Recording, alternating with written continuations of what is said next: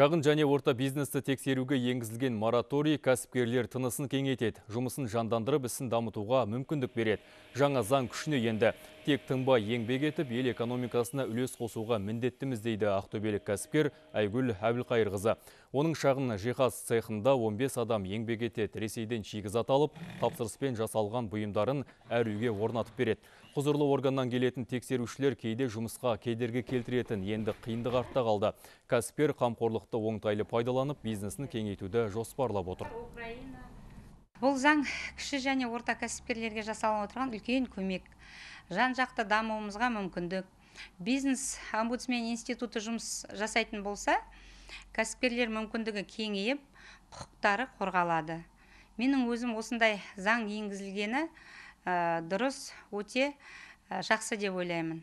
Бұл елбасымыздың барлық кәсіпкерлерге жасап отырған үлкен сыйы деп есептеймін.